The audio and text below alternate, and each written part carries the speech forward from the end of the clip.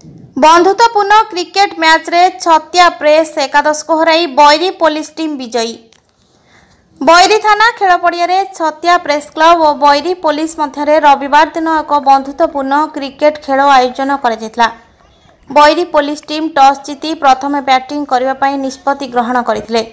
ବୈରୀ team ପକ୍ଷରୁ ହାବିଲଦାର ମନୋଜ ନାୟକ ସଇଁତିରିଶ ସୁବାସ ନାୟକ ପଇଁତିରିଶ run ସହ ନଅ ୱିକେଟ୍ ହରାଇ ମୋଟ ଶହେ ଏକାବନ ରନ୍ ସଂଗ୍ରହ କରିଥିଲେ। ପ୍ରେସ୍ ଟିମ୍ ପକ୍ଷରୁ ପ୍ରମୋଦ ଜେନା ତିନି ପ୍ରଫୁଲ୍ଲ ପୃଷ୍ଟି ଦୁଇ ୱିକେଟ୍ ନେଇଥିଲେ।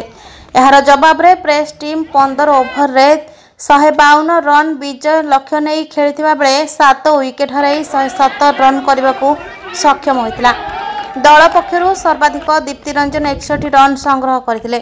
ପୋଲିସ ଟିମ୍ ପକ୍ଷରୁ ସୁବାସ ନାୟକ ଦୁଇ ୱିକେଟ୍ ସଂଗ୍ରହ କରିଥିଲେ। ଏଥିସହ ପୋଲିସ ଟିମ୍ ପ୍ରେସ୍ ଟିମ୍କୁ ଚଉତିରିଶ ରନ୍ରେ ହରାଇଥିଲା। ଖେଳ ଆରମ୍ଭ ପୂର୍ବରୁ ଥାନା ଅଧିକାରୀ ପ୍ରଦୀପ୍ତ କୁମାର କାନୁନଗୋ ସମସ୍ତ ଖେଳାଳିଙ୍କୁ ସ୍ୱାଗତ କରିବା ସହ ଆନୁଷ୍ଠାନିକ ଭାବେ ଉଦ୍ଘାଟନ କରିଥିଲେ। ଏହି ଖେଳକୁ ଚନ୍ଦ୍ରଶେଖର ପୃଷ୍ଟି ଓ ପ୍ରକାଶ କୁମାର ଖେଳ ପରିଚାଳନା କରିଥିଲେ।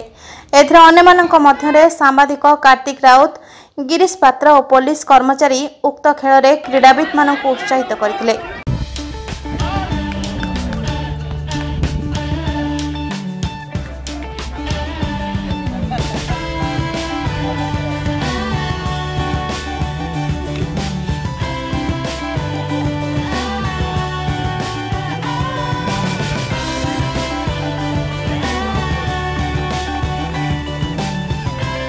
ବଡ଼ଚଣାରୁ ପ୍ରତାପ ରାଉତରାୟଙ୍କ ରିପୋର୍ଟ ଆମ୍ ଟିଭି